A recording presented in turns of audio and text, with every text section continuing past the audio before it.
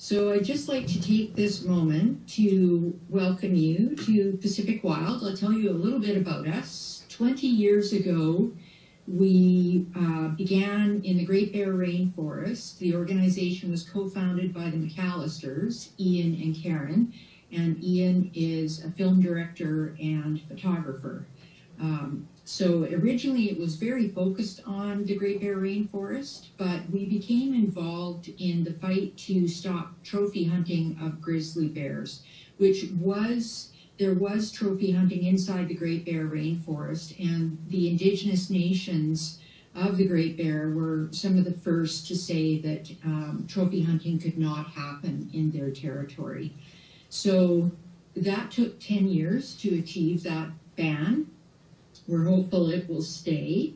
And that took us into apex species, um, the megafauna that is so popular with people and that they love so much. Um, the other thing about Pacific Wild is we're very ecosystems based in our approach. So uh, government tends to look at species on uh, species by species basis as if they're in silos and doesn't seem to draw the, the A to B points between all of the species that interact in an ecosystem. And that's something that we're really passionate about. And we are also, also passionate about Indigenous led stewardship. And that was very much the case in uh, the Great Bear Rainforest, particularly with the Heiltsuk in Bella Bella. Uh, they pretty much showed the way for a lot of nations how to control their territory and their biodiversity. And so moving into our, our wild wolf campaign, there's really three parts of it. Uh, we joined a call for a moratorium on the recreational killing of wolves. So this is trophy hunting, uh, wolf killing contests, often called wolf whacking contests. Uh, it, it's difficult getting near trapping, but we're trying to get there. And we want a moratorium until scientific and ethical concerns are addressed. So we'll talk about that later in the presentation. A big one for us since 2015 has been a campaign to end the aerial gunning program, which I'll talk about more, and the basis for everything is that we need to get more decision makers at the table where wildlife management decisions are made.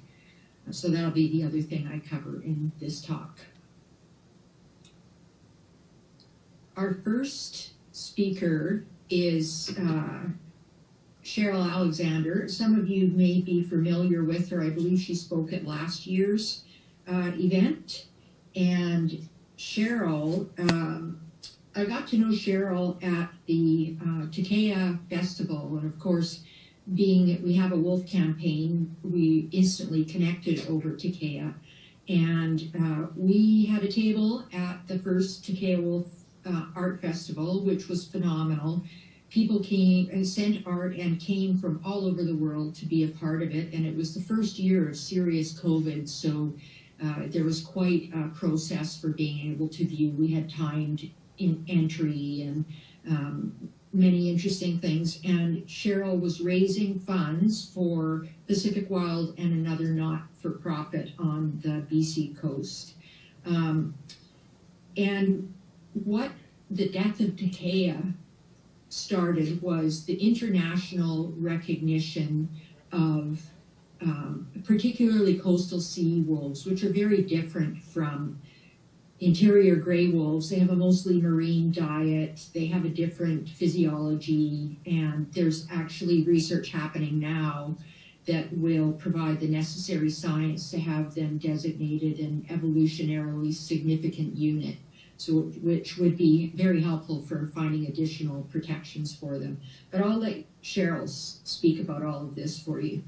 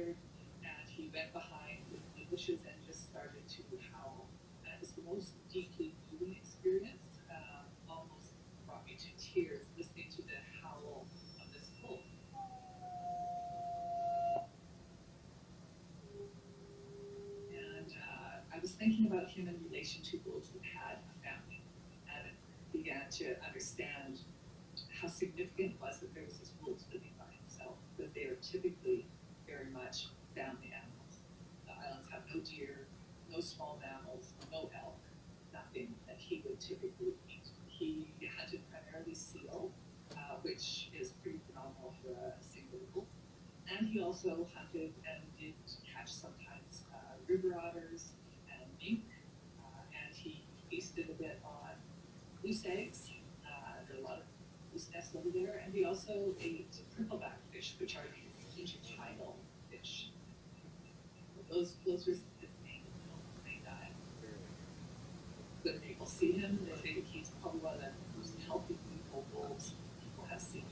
I think it may because of all the seal oil in his diet, and uh, he had no trouble hunting and feeding himself.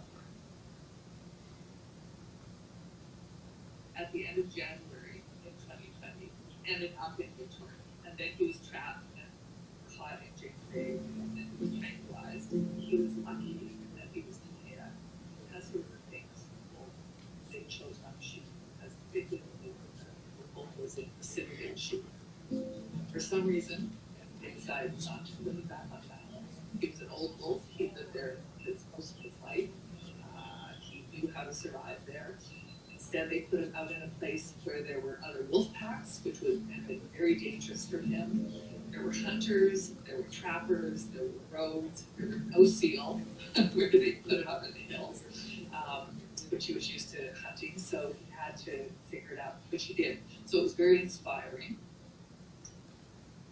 And then the day that I heard he was shot, I, it actually was someone who had been told, it was like a hunter a friend of his, who was a friend of this person who was really committed to Takaya, and she actually contacted me and said, a wolf's been shot that has a tag, and I knew right away it was Takaya, because he's the only wolf um, that conservation had tagged. Unfortunately, the hunters were pretty alerted to where Takaya was, and in fact, there were some hunters who said, "Oh, we're going to get me a, you know, a great trophy."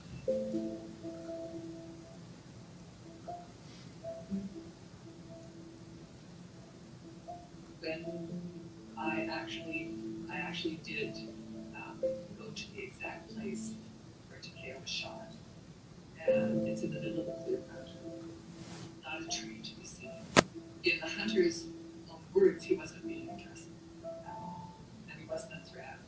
In fact, you know, I'm just sort of imagining what kind of person looks in the eyes of this wolf. That so many people have looked in the eyes of this wolf and found something magical. And he looks in the eyes of this wolf and thinks, it just, yeah, it's very upsetting. Here you have wolves are abundant, particularly on the North Island, and there is room for more hunter participation. Meaning, get out there and kill those wolves, hunters, because there's lots of wolves out there. From my perspective, no one owns a wild wolf, uh, or any wild animal for that matter. The government uh, very much as if uh, they own wolves and can do what they want with them, which includes encouraging hunters to kill them. it's super important that we advocate for uh, animals to not be uh, hunted as vermin, as is actually often the case with wolves. Hunters will refer, and trappers will refer to wolves as vermin. And they somehow feel that it is their responsibility to uh, decide when to kill a wolf, how many wolves to kill. Uh, currently in BC, you do, no hunter requires a special tag or license to kill a wolf. Every other animal in BC, bears, cougars, deer, elk, hunters require to purchase a, a separate tag. They have to have a general hunting license and then they have to have tags, not for wolves. They can choose when and how many wolves to kill. In most of the province, it's unlimited. It can be as many as they want in on Vancouver Island and another municipality, the Lower Mainland, it's uh, limited to three wolves. but that is leaving it to the individual hunter to make a decision about how many wolves should be on our landscape and where and how. It, it's crazy. It's it's a it's it's taking us back to the dark ages when we were uh, fighting for our lives, I guess, against these predators, but we live in that kind of world.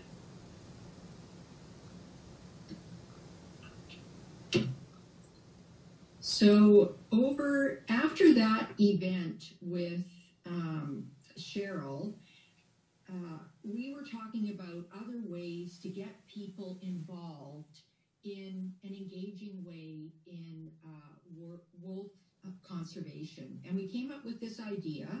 Um, I had researched a bunch of platforms and found one that would work well for us for doing a trivia challenge.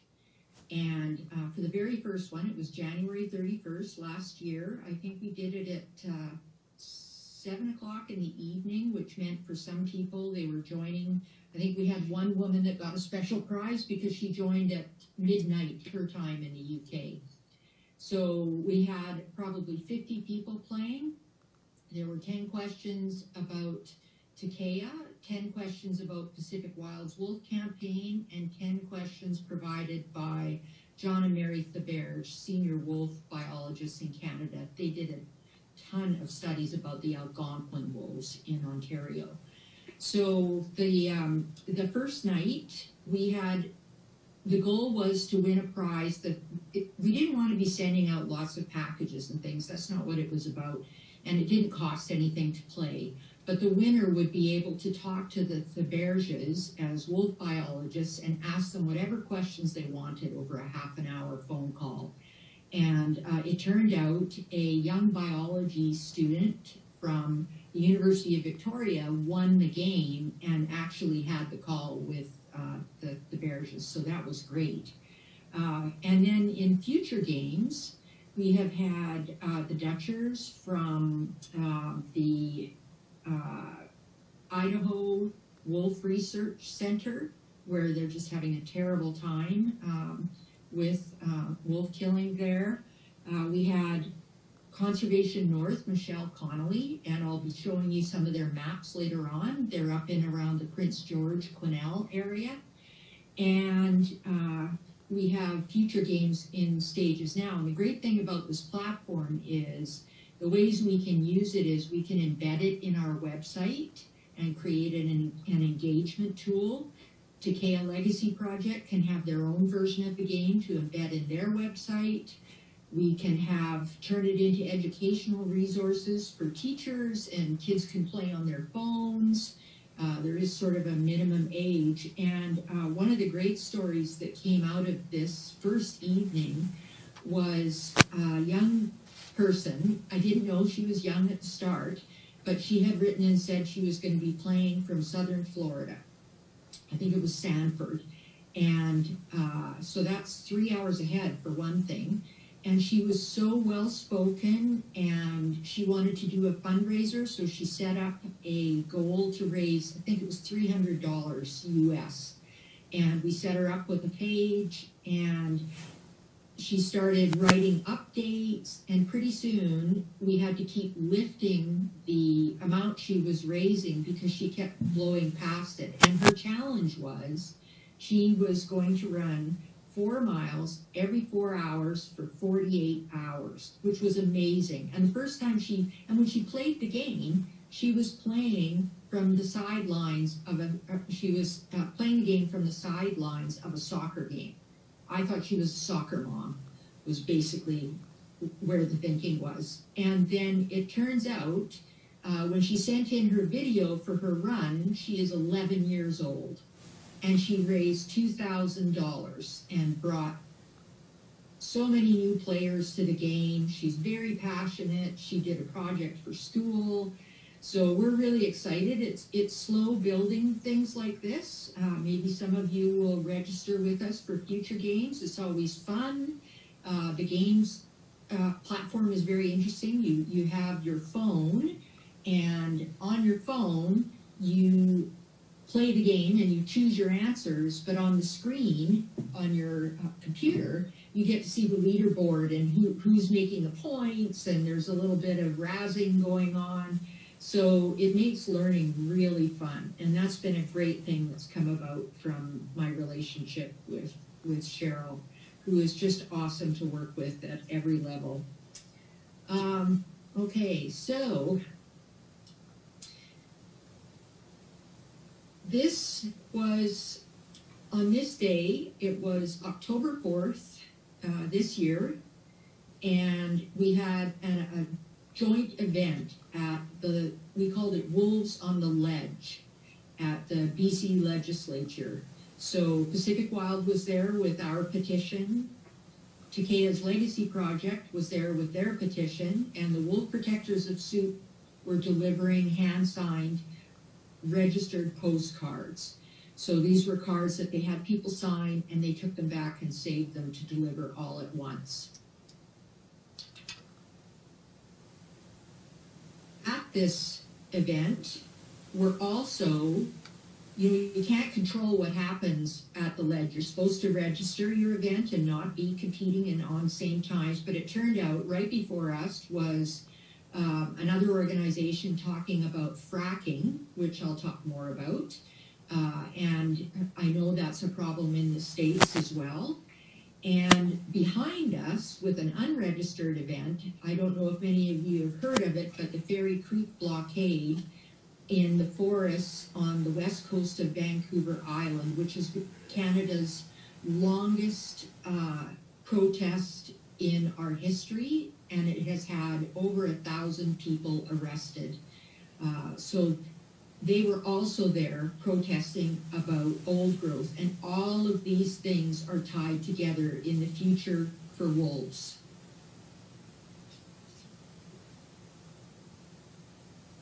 I'll just talk a little bit about how we delivered our petition so you can see that round at the top. I didn't want to hand over a thumb, thumb drive. I definitely didn't want to print 500,000 pieces of paper with signatures on it, which is very uh, against the whole spirit of what we're talking about. So we had an artist take this round, and on one side was a wolf paw print, with the feathers and the thumb drive containing all 500,000 signatures, and on the other side was the head of a caribou. So we delivered this to uh, Minister Catherine Conroy, uh, Katrine Conroy, who uh, is in charge of the forests in uh, BC. So here's the numbers.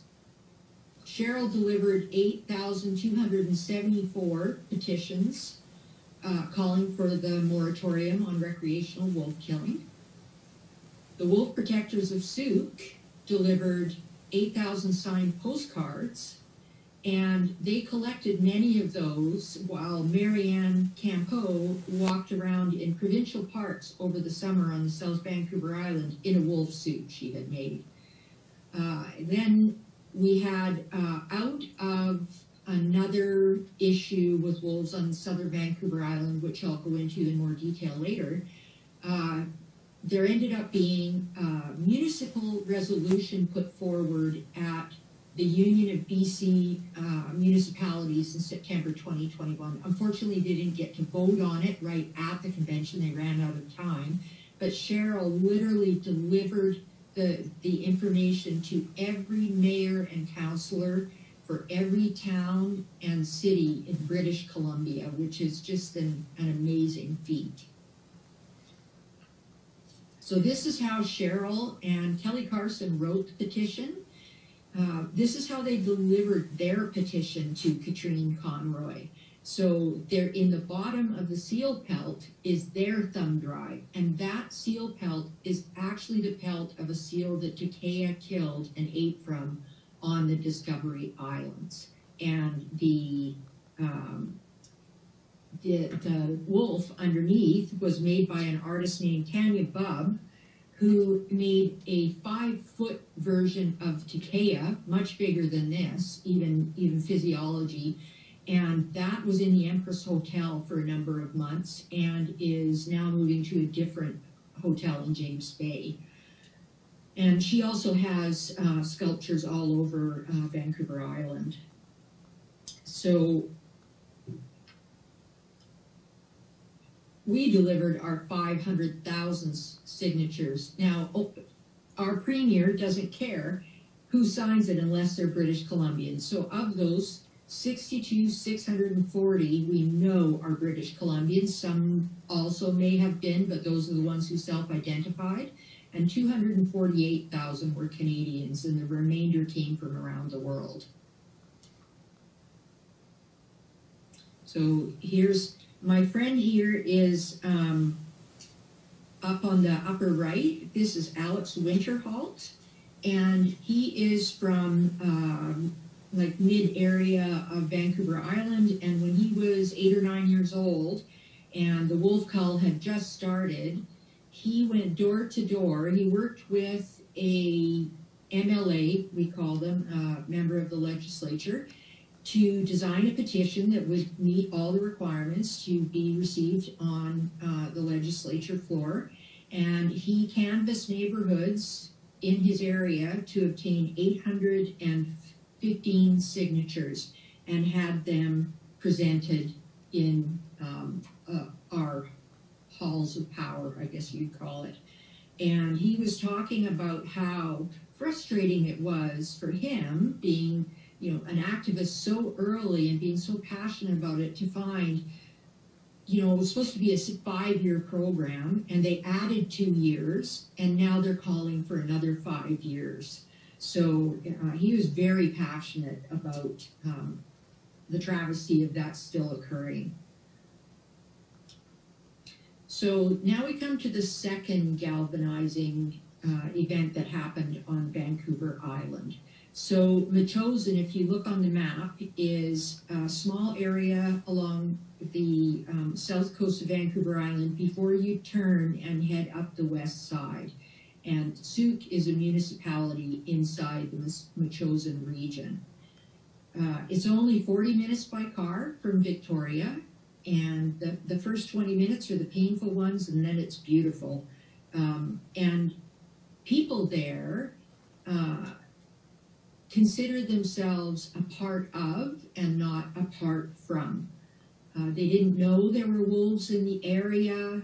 They most people assumed, being so close to a major urban area, that there would not be a wolf pack in in the area. And I'll let a local farmer from uh, Metchosin tell you about his experience with the Metchosin wolf pack.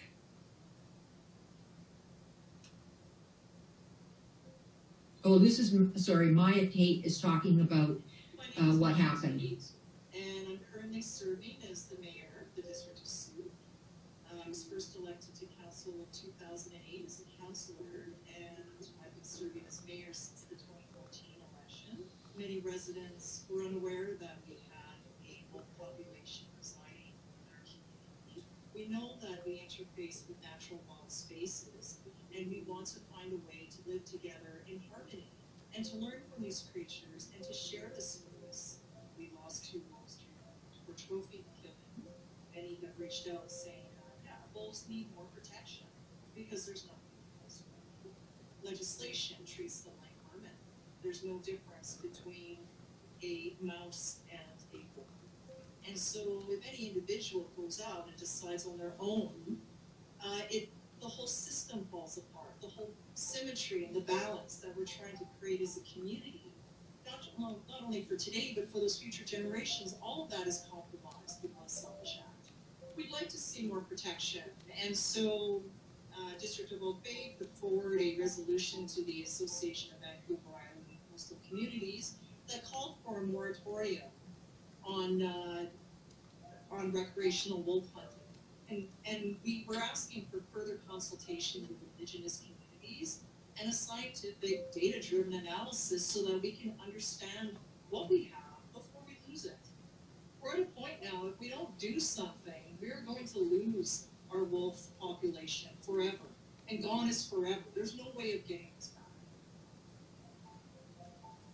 That is the concern. I mean, as has discovered, uh, more folks are very interested in our corner of the world. we're very proud of our community. We know that we have significant potential, but we're trying to build a sustainable future, uh, and that means includes including all fish and, fowl species, and how do we coexist with one another. And what I don't want to see is more trophy hunting coming into Sooke and taking more wild animals that we've only begun just to understand. I mean, many were surprised to learn that we even have a wolf population so close to us. We have a treasure here. We have this amazing keystone predator, and we have the ability to learn. And it's important that we, we do this for the future to, to meet climate led initiatives and others. So what she is referring to is a hunter named Jacine Jadresko, known as the Inked Huntress on Instagram, killed two members of the Metchosin pack and put up pictures of herself holding the dead wolves on Instagram and said that they were from Sooke and that she had taken it upon herself to um, eradicate the wolves. She believed that killing the entire pack was what was necessary, and that's the goal whenever you're hunting wolves. And it just blew up. So uh, she is known as um, somebody who uh, tracks a lot of um, pushback around her hunting ideals. She has hunted around the world. There's a Netflix special about her where she talks about killing 29 different species. And uh, we know from Cheryl that some people contacted her to say, and they were hunters, to say, this is really bad.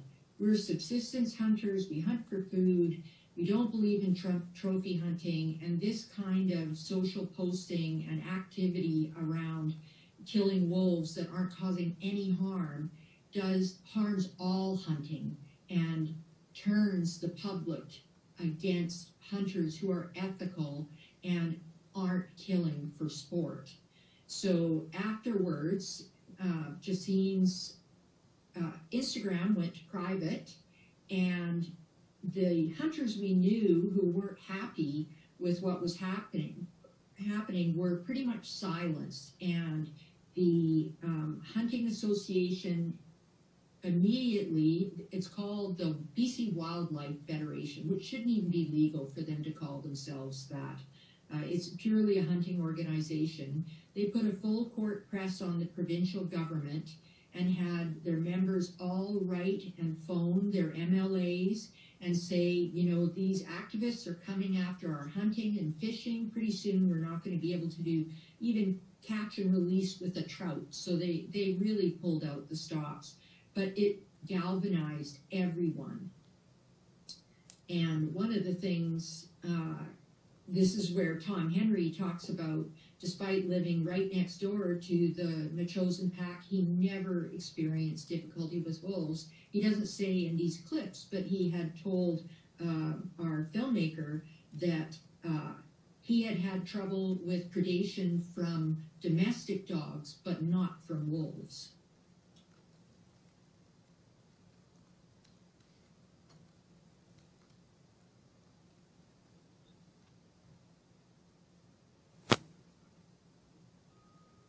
We've been operating this farm for seven. We're a mixed farm. We have hogs, sheep, we do big birds, we do grain crops, and we produce. We supply our meat to butcher shops in the South Island, and we sell to some restaurants in Vancouver and other places. My encounters with wolves are two or maybe threefold. Uh, physically seeing them twice. The more ongoing encounters I have with wolves are audio.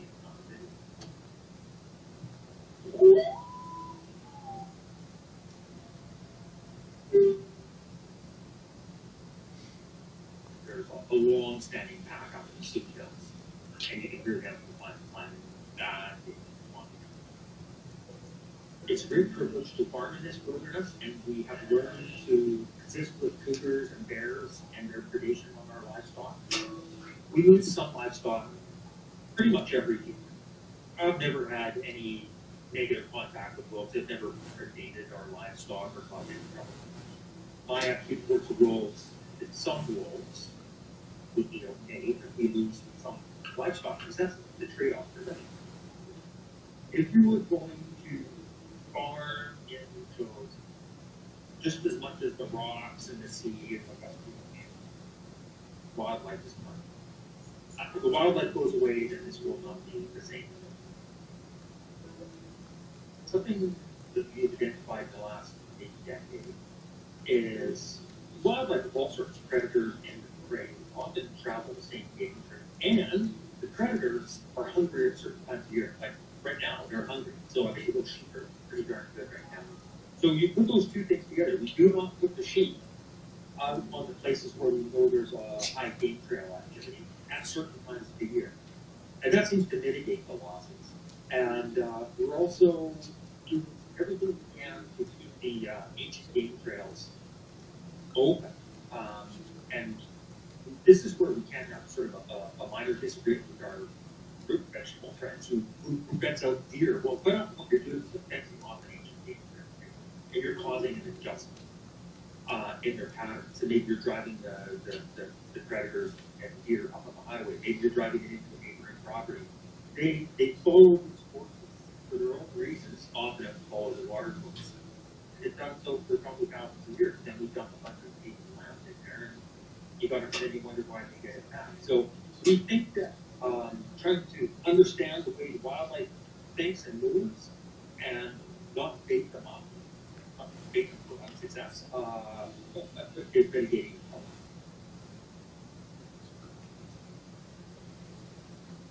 I wish all farmers and ranchers had that attitude. So uh, when all of that happened, I would say there was a huge change in Facebook activity. Uh, a lot of the hunters who were really aggressive with conservationists uh, backed off because uh, they wanted to keep their image fairly clean when protecting their rights with the British Columbia government. And interestingly, while uh, two years ago you could see wolf whacking contests advertised on Facebook as events you could just click on an I'm going button on have disappeared. They've all gone underground. So I very much doubt that they're uh, they've stopped. They're uh, well known in some of the interior areas where those attitudes that Cheryl referred to exist. And um, but I, I do think the change is happening at the public level that will uh, perhaps turn us away from the way we've done things in the past. So as uh, a result of Cheryl's work, we became a signatory on the call for a moratorium on recreational and sport killing. Uh, and the keywords are until scientific and ethical concerns can be addressed. And how you do this is you actually have data. So uh, the provincial government's last census on wolves was in 2014 and they said there were 8,500 wolves approximately in the province. And their confidence level, so when you do polls and you see the plus minus for the level of confidence in the results, was 37%. We wouldn't accept that on the back of a cigarette package telling us about cancer risks. We wouldn't accept it on a poll for a polit- politician and we certainly can't accept it when it comes to wildlife. There is significant science missing, and hunters talking about anecdotal reports where they don't see a deer, therefore uh, there must be more wolves. That is not science, that is bar talk. Um, so we know there needs to be better science, and we also know we need other people at the stakeholder table besides those who have a vested interest in the outcome because they are either wanting to hunt wolves themselves or are wanting to protect their ability to hunt other species that wolves uh, predate upon.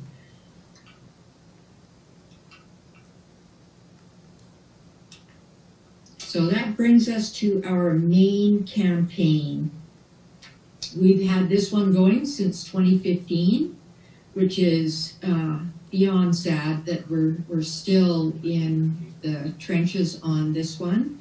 Uh, so this is the aerial cull in British Columbia.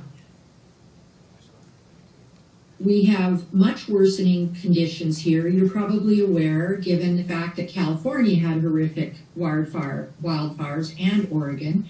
British Columbia had the same. So massive amounts of habitat were lost this past summer. And we have had the pine beetle infestation, which has been caused by climate change and warming temperatures. And uh, we also have uh, a lot of industry happening in our province, which I will show you as, as we move through here. And these photos are so amazing. They come from Jonah Kime, and I'll talk about him in a little bit. Uh, but the it's very hard to get pictures of caribou. They're quite elusive, and their ranges are quite large. So these were a lovely gift of Jonah's to use for our uh, campaign, throughout our campaign. So this is a map of where the caribou herds are in British Columbia.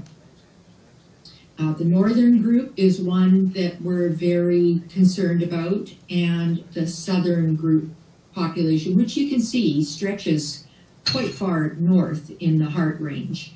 Uh, it also goes into northern Washington and Idaho, where the caribou have been extirpated, and many of those herds along the southern area, which we call the Kootenays, are close to extirpation. Um, and uh, when you look at the next slide, you'll see the impossibility of what is at stake for caribou. So this map was created by my friends at Conservation North. It is a map of all the human impacts on the landscape in British Columbia. So if you look, the red is disturbed by industrial human activity, and much of that is in endangered caribou ranges. Now this can be logging, fracking, there's seismic lines, road building, testing sites, helicats, heli skiing and cat skiing, snowmobiling and ATVing in the summer. And all of these create what are called features on the landscape. And you can see there's not very much uh, range for caribou to retreat into.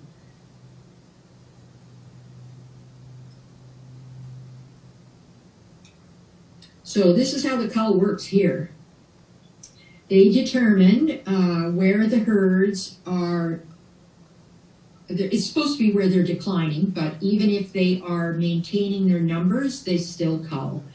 Uh, they identify um, what areas they're going to work in, and they fly over the territory and locate a wolf, tranquilize it from the air, put a radio collar on it, and then follow it by air to where the pack is on the landscape. Then they uh, have an aerial gunning program, so the snipers come out and their aim is to kill 80 to 100% of the pack in all the uh, areas they've identified. The cost for this when we uh, got our Freedom of Information response uh, back a few years ago was listed as $4,800 per wolf. There have been over 1,400 wolves killed to date, and the math for that, if it's still the same and costs haven't changed, is $6.7 million of taxpayer money, which is very hard to take for the majority of British Columbians.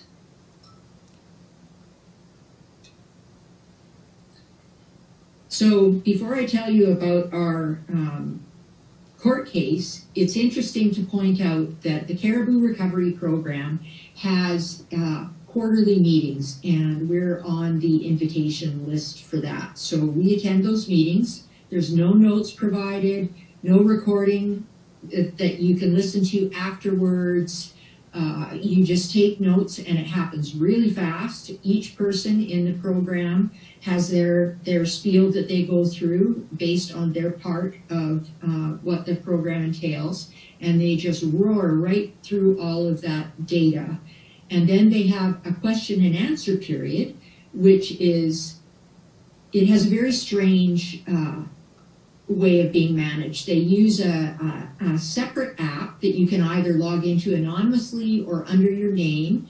You pre-supply your questions and people have to vote them up in popularity to see if they'll be asked. And they have 15 minutes to answer however many questions are in there. And when it when they hit 15 minutes, that's it. They're gone. Good night. Goodbye. We'll see you in three months. So the very first time I participated, our questions never made it to the top of the list. So this time um, we had a number of interested parties who were interested in the same questions we had, and so we were able to upvote them and, and get them higher up. And this last Caribou recovery meeting was around the proposed predator reduction management program they were going to run this winter. So, and they want, they're looking for another five years for this cull. So this was supposed to be an experiment uh, in lieu of habitat protection immediate. And over the five years, we just, we're, we're just bleeding off habitat like someone on their deathbed.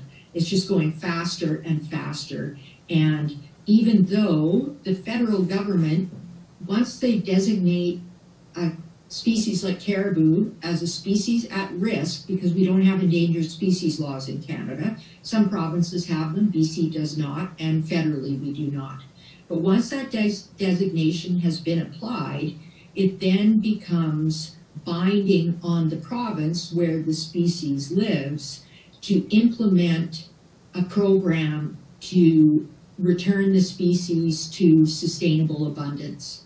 And the very first thing they're supposed to do is protect 65% of endangered species habitat. And we are not near that, and we're losing more all the time. And they are given sometimes two to four years to develop their plans, to report back. And in the meantime, we call it in BC talk and log, talk and develop. So while while we're all planning and having these meetings, the forestry and industrial resource extraction companies and winter recreation operators are just making hay. So uh, they had the meeting in late summer about the predator reduction program and said all of their their valued stakeholders had already provided input so they were done collecting input and they decide who gets invited into that process. Pacific Wild did not get invited into the process. So then they can say we're not an interested party because we, we have never provided any information in um, their program discussions. So it's a, it's a little bit of a catch-22. If you can't get invited, you don't count. Uh, so that's what happened this summer. And they were delivering the predator reduction program as a fait accompli in this meeting and being quite dismissive of all the questions like, couldn't we do a, a spay and neuter program? Um, could we relocate some of them? Neither of those two are actually feasible, but uh, they would just say when you'd ask about habitat protection, well, you know, it's going to take years to get to that. We all have to agree to what we're going to protect. And it, was clear they were dead set, um, pun intended, on, on uh, continuing the wolf cull program. Now, I don't believe people in the caribou management program want to kill wolves. It's very different in Alberta next to us, but in BC, people do care, and these government representatives do care about wolves, but they see this as the only viable way to protect the herds until such time as habitat can return to the state where caribou will survive. The only problem with that is the habitat caribou need to survive is over 250 to 1,000 years old. And they will be long gone before we get trees back to even the most minimal level because the type of lichens they uh, survive on only exist on ancient forest.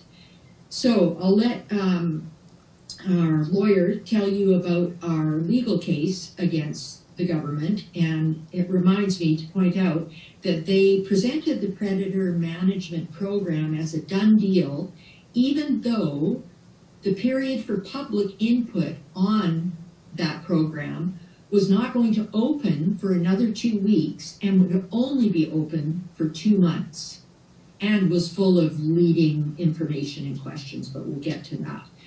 And we had had two days of our court case in July, and the judge added another three days in October. So there hadn't even been a verdict yet on the legality of the cull, and they were proceeding with business as usual. My name is Rebeka Breder, animal law lawyer, counsel for Pacific Wild. What we're doing is we're suing the province of British Columbia over killing wolves for their cull program. over 1,400 wolves have been killed in the last five years in British Columbia, mainly via helicopter. There are some parts of the province where the government wants to literally annihilate the entire population, and it is completely unacceptable. Our Provincial Wildlife Act, right now, the regulation conflicts with the federal law. Our provincial regulations allow the use of firearms from aircraft to kill wildlife, but the federal laws prohibit it. One of our big concerns is that there is nothing guiding the people who are issuing these permits to ensure aviation firearm safety. And the way this works out is that first they scope the area out, and then they, they find the alpha, they tranquilize them, put a radio collar around their neck, to let the, the alpha wolves go to their path. And then the contractors track them to the path and literally kill, in some instances, the entire path of. When we're dealing with a situation where there is an extensive killing of wildlife, coupled with a potential impact on public safety, not only should the people who have the permit to know what's going on, the public should certainly know what's going on as well. Wildlife essentially belongs to the province, and public safety is certainly an issue that everyone should be concerned about. These regional managers are given so much discretion to make crucial decisions. If the government wants to proceed with a cull, then the regulation should be specific enough to be able to guide these people who are issuing the permits so that they could look at the law instead of just having complete discretion and power to just decide on their own. You don't want someone who's not qualified at all to be making decisions that impact literally an entire species and also literally has the power right now to put a gun into someone's hands to shoot from aircraft.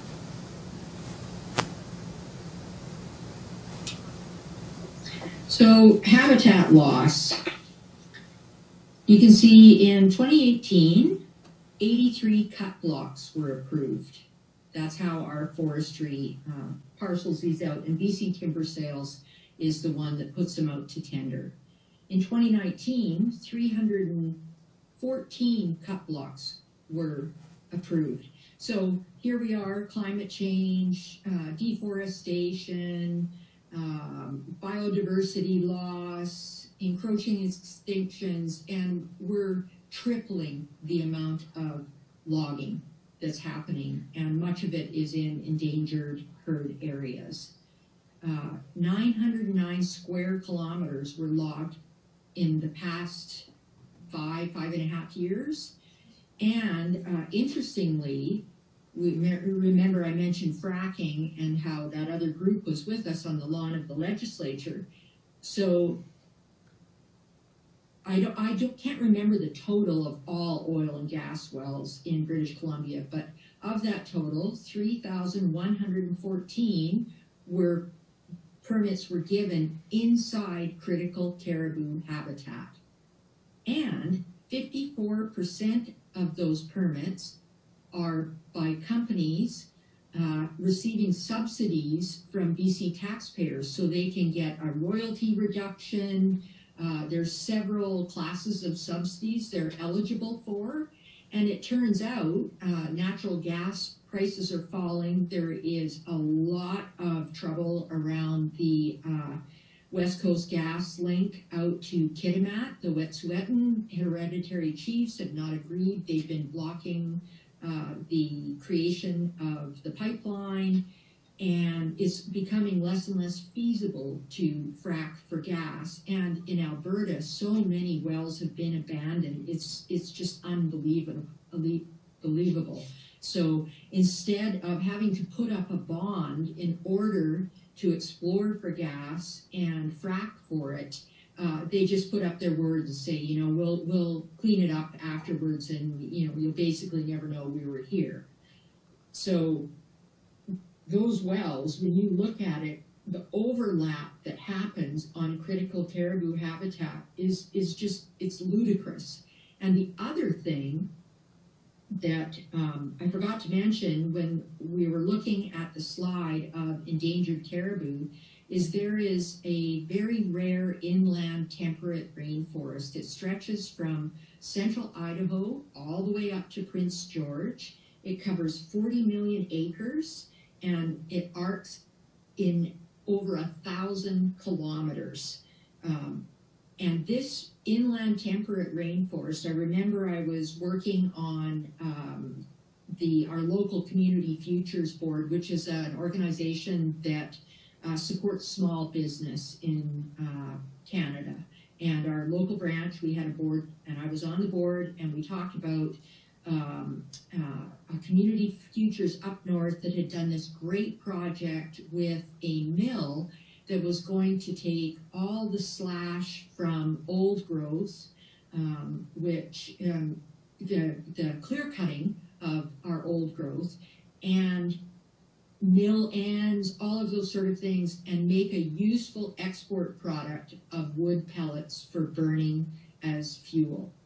And they said, we'll never take a live tree. We have more than enough uh, material from the ground and from clear cuts. Uh, we aim to, to fill a gap in the middle. And when they ran out of that, they began asking for and getting permits to log the inland temperate rainforest to make terrible little pellets that get shipped by bulk out to Asia. It's it's like the lowest value you can get for something. And uh, the other thing that happened uh, is we had a very bad infestation of the pine beetle in the interior due to warming temperatures. It used to be over the winter, it got cold enough and it killed them all off. Uh, but now uh, there's a number of winters where they don't get enough of a long cold snap to um, keep them from coming out. And we lost um, a, lot of our trees. You could just look as you were driving by and you just see whole patches of the forest turning brown. And the lumber company said, you know, we, we better go in and get that before it rots. And everybody thought, well, you know, you can't really argue with that. It, it seems like a, a, you know, a service that the forest industry could be doing for us.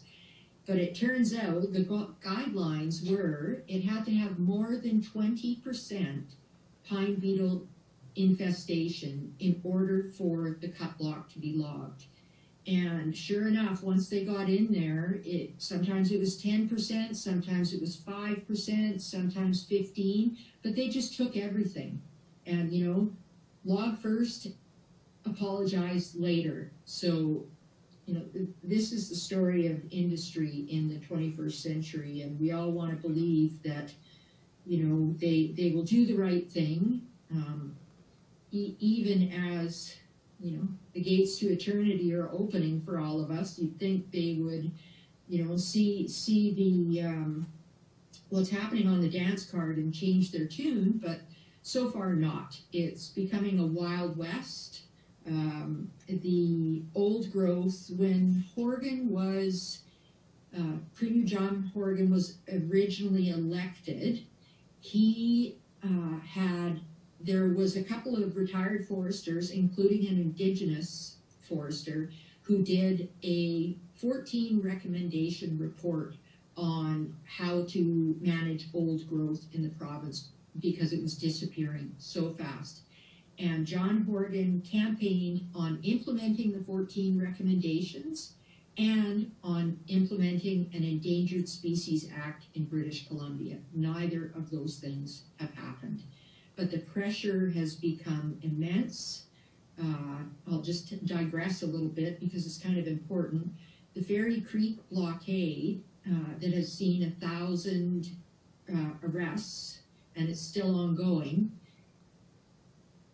Uh, there, it was led by hereditary elders um, from the Pacheedaht um, community on the west coast, and with um, a activist group called the Rainforest Flying Squad, and they set up camps, and uh, you know it was just like the good old days in Clayoquot.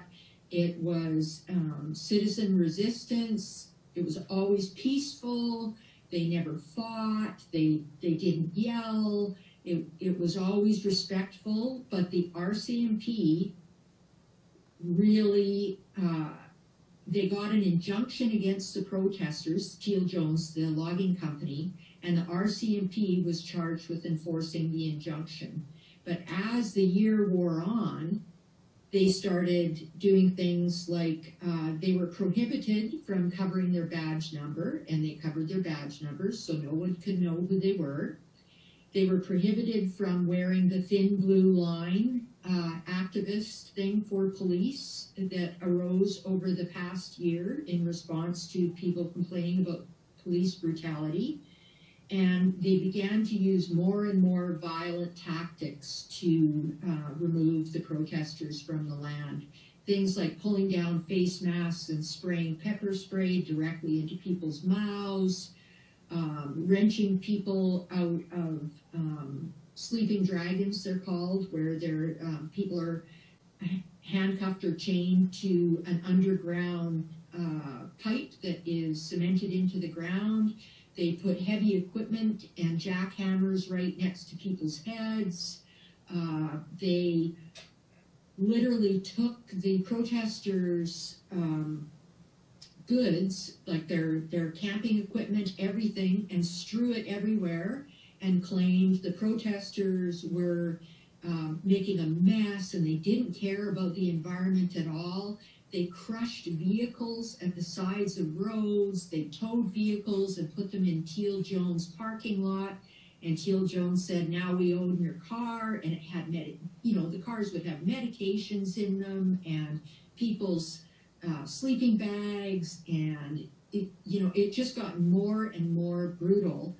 And finally, uh, the injunction was lifted because the judge that heard the request for it said that the RCMP's actions were being taken as an extent of the Crown's injunction. So people were interpreting it as the Crown was perpetuating violence against peaceful protesters. So that has elevated the old growth discussion in British Columbia um, into the international sphere, much as Takaya did uh, much as Clayoquot did 20 years ago. And uh, there have been other actions in similar parts of the province uh, in endangered caribou territory in the Selkirks near Revelstoke. Um, and this has uh, forced Horgan uh, into dealing with even a very superficial level uh, old growth, which then um, ties into all of the other things, climate change, endangered species. But he is is fighting it and backing into it against his will, and he is uh, he's getting caught on uh, BC made a big deal when Horgan was first elected of um, committing to uh, the UNDRIP, the United Nations Declaration of Indigenous Peoples, the Rights of Indigenous People. So British Columbia was going to work with our Indigenous, not our Indigenous people, the Indigenous people of British Columbia, who do not have treaties. There were never there were never treaties. Um, so these are all unceded lands in the province, and uh, therefore owned by the original indigenous inhabitants, which have been recorded as being here as far back as 14,000 years, and they will say since time immemorial. And that was a huge part of his platform that BC was going to be one of the first provinces in the country to really um, work at reconciliation with Indigenous people and move forward in a spirit of partnership. Then it became clear that UNDRIP worked for the National Democratic Party government when the First Nations involved were aligned with, with provincial goals. So many First Nations um, have a lot of poverty. They were originally uh, cleaved away from economic development in the early stages of Canada when uh, the residential school systems were around, when uh, all of their trap lines were taken over, uh, their the DFO decided, oh, sorry, I should say that's our Department of Fisheries and Oceans, decided that they would determine who could fish and for how much. And because um, uh, indigenous people, Indians at the time, were seen as not uh, the, having the same rights as Canadians, at, from that point forward, they were always less than and uh, never saw the benefit of all the lands they had cared for and seized for thousands of years. So, of course, nations are looking to make income for their members. So, the Pacheedaht has built a mill in partnership with Teal Jones that is meant to mill old growth trees they they got a pittance from Teal Jones for what what uh, the company got to log, you know, prime forested valleys. It's high production sites. Uh, it's where all of the best old growth is and the most biodiversity is. And they're pretty much backed into a corner because they need to make a living like everyone else. And who are we to say they can't log when we've almost logged them into oblivion? But that's not the way UNDRIP is supposed to work because as soon as you have a First Nation who says, we will not allow old growth logging on any of our territories, the government is never there to support them, to talk about what their goals are for their stewardship territories. And that puts John Horgan in a very difficult ethical position.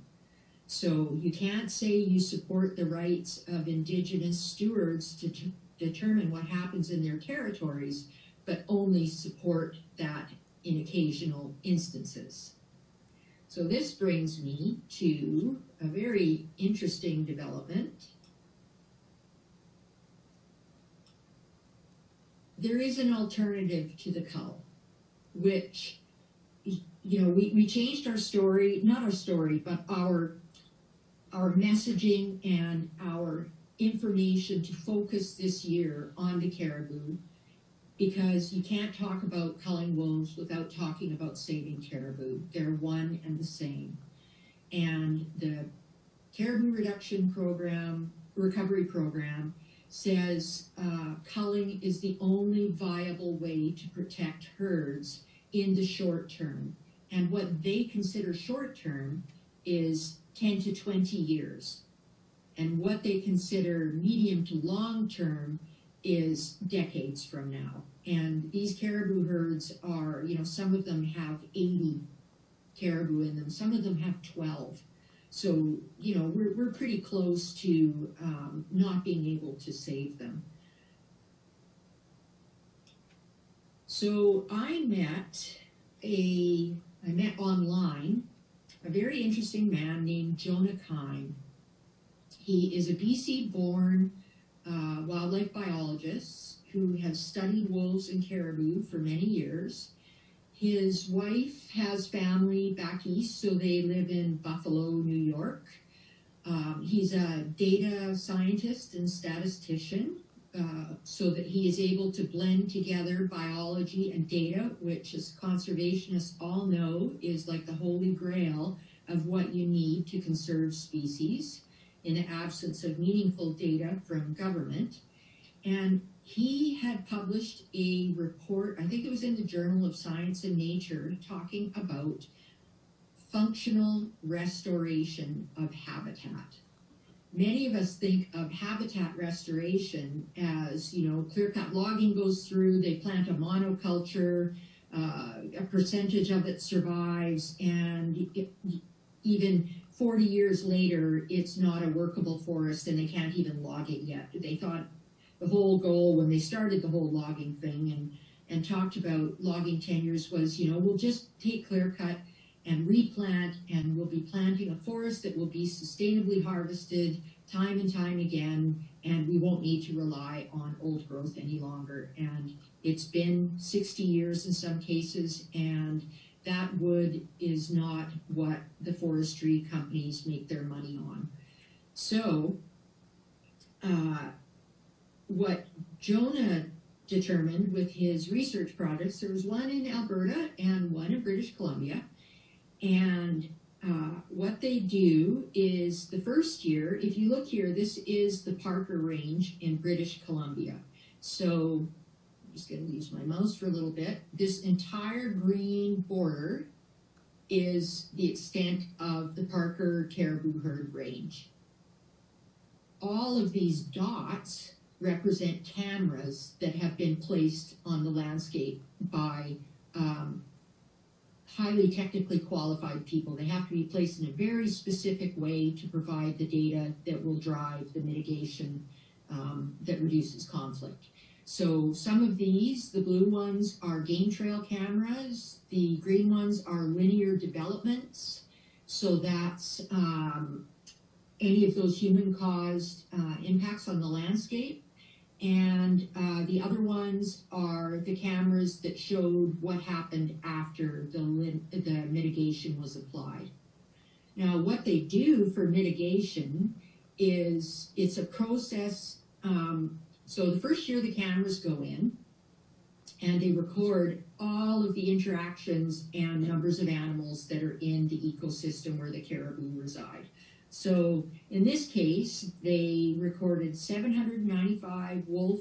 So this is 795 times uh, a wolf passed in front of a camera, and they have ways uh, in the study that show what they count as a separate wolf from the wolf that just appeared seconds before.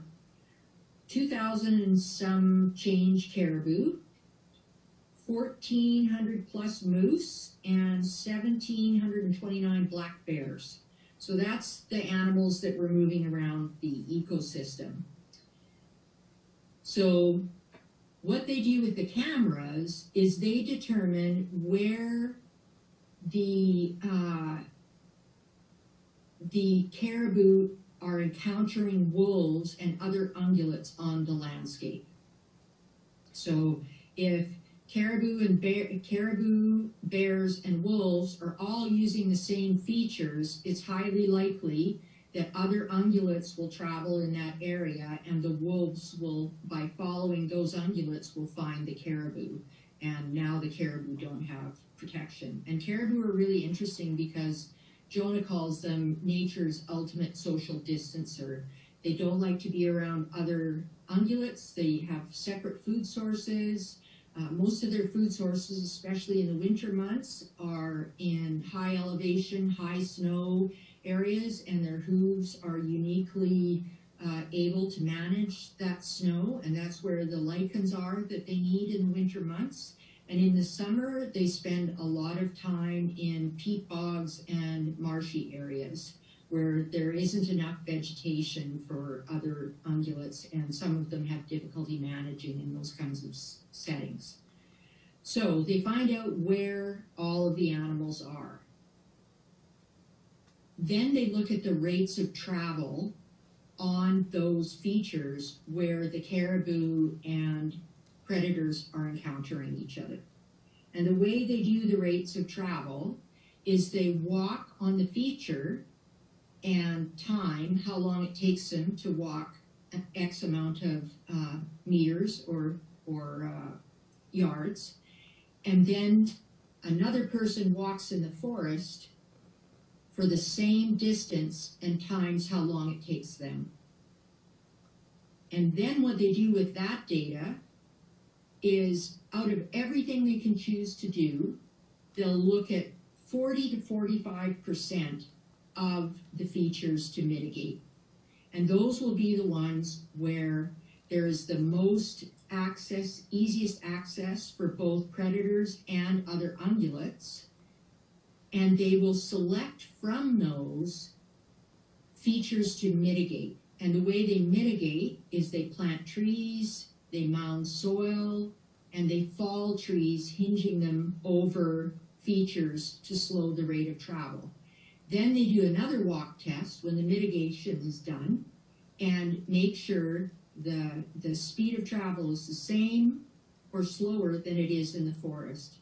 That immediately reduces the return on investment for wolves who, one, hunting in packs requires coordinated movement through big spaces, which are, is difficult in a forest.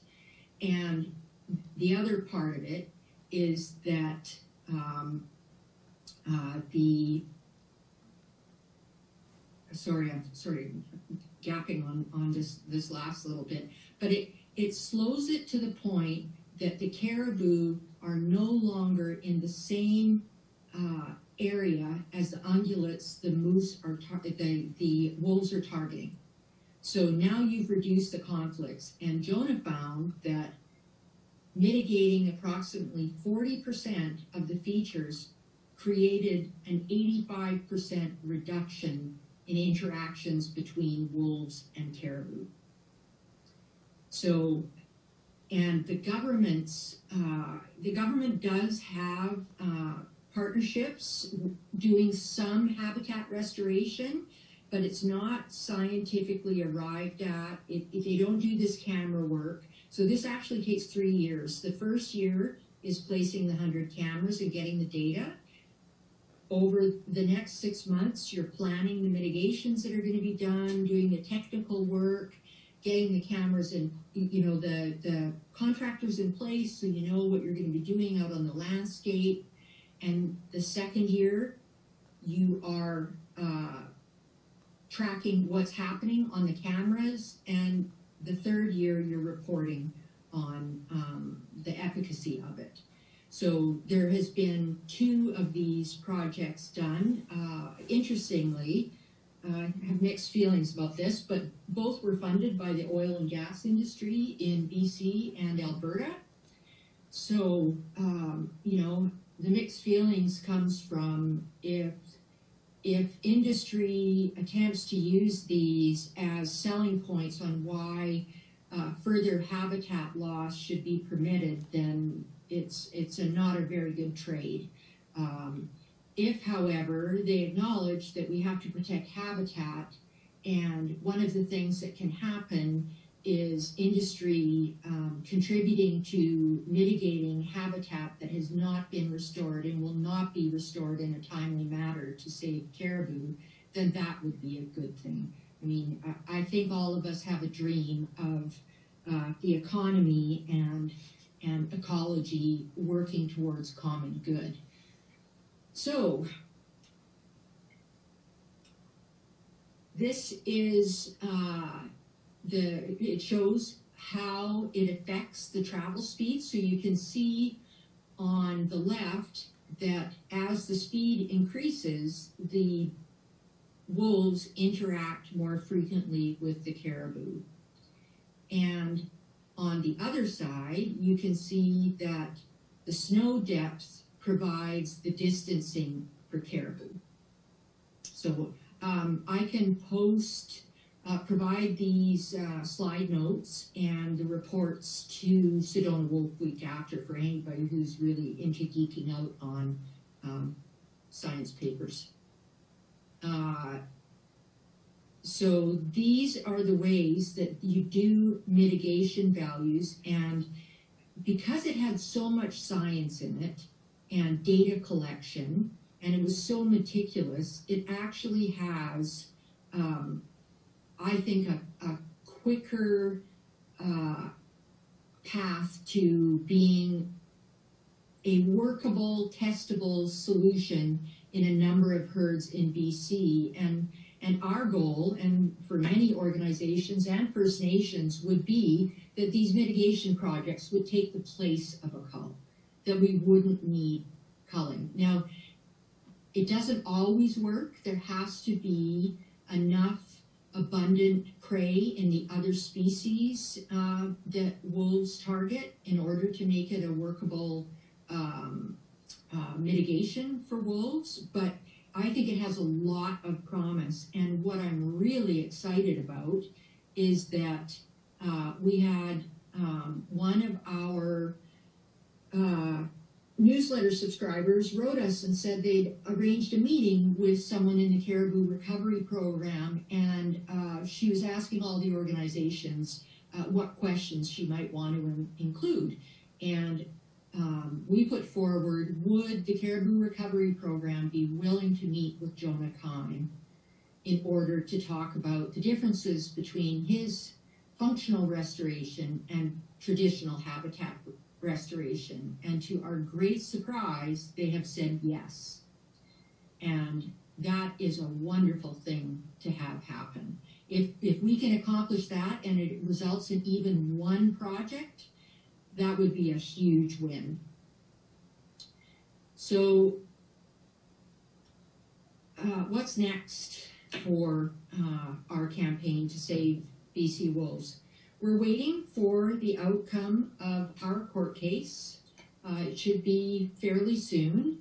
Um, if if we win, that's one thing. Uh, if we don't win, then we go back to the drawing board and we have uh, I don't know if many of you heard the story of the uh, conservation officer in British Columbia who refused to kill two orphan bear cubs after their mother was shot as a danger to humans. And uh, he was fired, and he took the BC government to court and won. And now he's fighting to get his job back. Uh, he is our policy analyst and legal advisor, so he'll be continuing on that legal front uh, to look for ways that we can uh, put a pause and get some other science happening and, and see if there's other ways to save caribou without culling massive amounts of wolves. Um,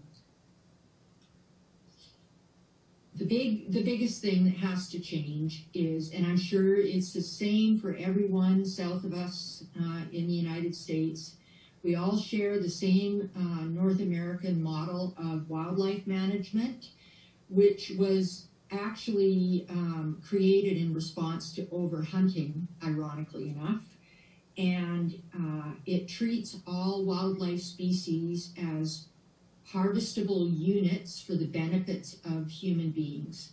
Uh, the animals and uh, other species don't have a right to existence uh, only for their own purpose. Um, they're all uh, in British Columbia, the Wildlife Act states that British Columbia uh, owns the wildlife as vested in the government, which represents all British Columbians. there have been, uh, so we've talked about this. The, the stakeholder group is mainly hunter associations, guide outfitting associations, government, government biologists, and uh, aligned First Nations who agree to um, either they, there are a few, uh, probably two, I think, that do allow hunting of wolves in their territories and there are some who have agreed to allow culling to take place to preserve car- caribou, and that effectively silences them for speaking out because they're now in an agreement. But the vast majority of British Columbians who also own all of the wildlife don't have a voice. So Cheryl Alexander, the Wolf Protectors of Sooke, uh, Maja Tait, Pacific Wild, and tens of other organizations and First Nations in British Columbia do not agree. There was a poll a number of years ago about trophy hunting. 86% of British Columbians polled said they were against trophy hunting. Um, so, because it is so dominated by this group of, of decision makers, it ends up with a bias in all of the communication that comes out. So, for example, with the, the period to accept public feedback, the way the information was presented and the questions posed all led the public to accept that culling is the only way to save caribou. And there was recently an article by three scientists who called out the government for the misinformation. We all know the trouble we get into with misinformation. Uh, it's, not, it's not just Zuckerberg. So uh, we're all pushing to have more stakeholders at that table and more of a holistic voice determining those things and faster. To that end, this came totally unsolicited to our email inbox. The Union of British Columbia Indian Chiefs wrote a letter in support of our campaigns, both on the front of the cull and the moratorium. This is wonderful, wonderful news. We didn't ask for it. I'm going to reach out to Judy Wilson, who uh, was apparently the um, instigator for this and is uh, um, in Chase at, at uh, the First Nations there. So again, this is the ethical bind that the premier is in because you have all of the, you know, organization representing all of the British Columbia Indian chiefs saying, no, you can't do this. So these are all of the people we've collaborated over the last five years. We've talked about many of them. Uh, Humane Society is doing a lot of work on the wolf cull in uh, Canada. They're raising visibility across the country. Animal Alliance Canada has reached out to us and wants to do a billboard campaign in Horgan's Riding, uh, which would be excellent. And I've been in early discussions with two First Nations in an endangered herd area in the caribou interior of British Columbia. They would like to restrict access in the backcountry um, by uh, for industrial permits and uh, logging backcountry use to protect caribou. Uh, in the hopes of ending the cull because even though they are in an agreement with the province for it, they are really looking for an alternate solution. So here's how you can help. We have donors and supporters from all around the world. You're all a part of our family, and everything um, you give and do makes a huge difference for us. Uh, there, there will be, our website is pacificwild.org. I'll have that up on the screen at the end. And something that um, I was really pushing for, um, I became the director of community in addition to Wolf Campaigner this past year. And we have a free online uh, membership community.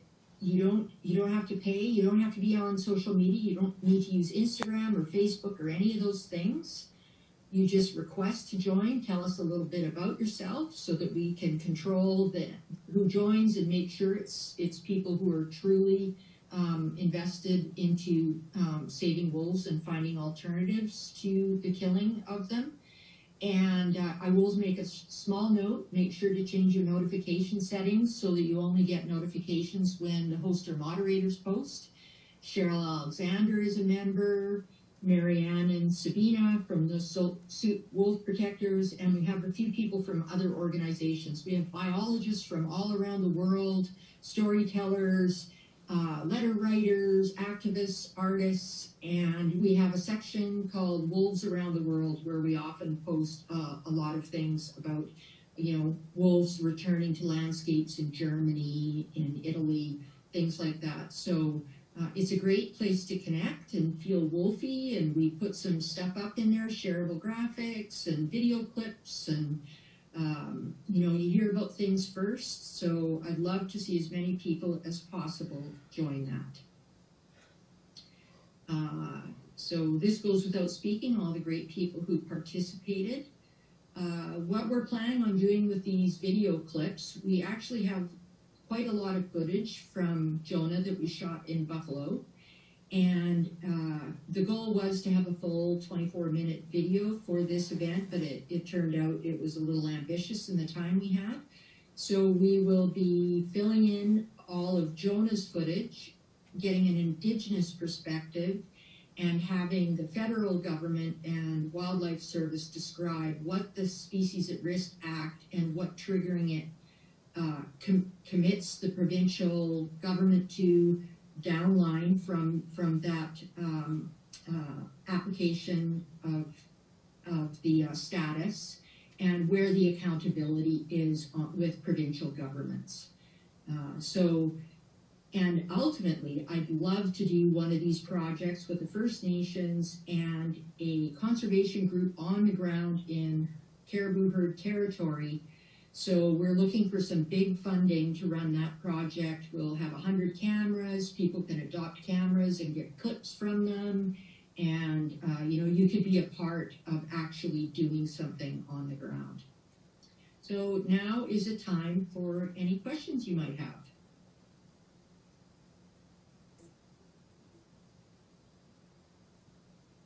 Oh my gosh, Laurie. we are all sitting here just infuriated and fascinated by your knowledge, and this is just an astounding presentation. Thank you so much. Um, I'm so glad you came, and I'm so glad you presented. I'm so glad we don't have a windstorm tonight. My power has been out five times this week. We've got one more uh, presentation tonight, but you covered so much so beautifully, and if you can just make, um, you know, if you want to put a link in in the chat for people to reach out to you with their questions um, later, I think that would be fantastic. But knowing, I think the biggest question, you know, was after hearing that, it was just so devastating. What can we do? And it feels very fruitless. But of course, we're sitting here just angered and wondering what can we do. And so I'm glad you wrapped up with that and that we have this information here. So everybody, please take note of this and uh, let's let's really try to work together. That's the whole point of this event. And look, Canada's experiencing exactly what the United States is. Surprise!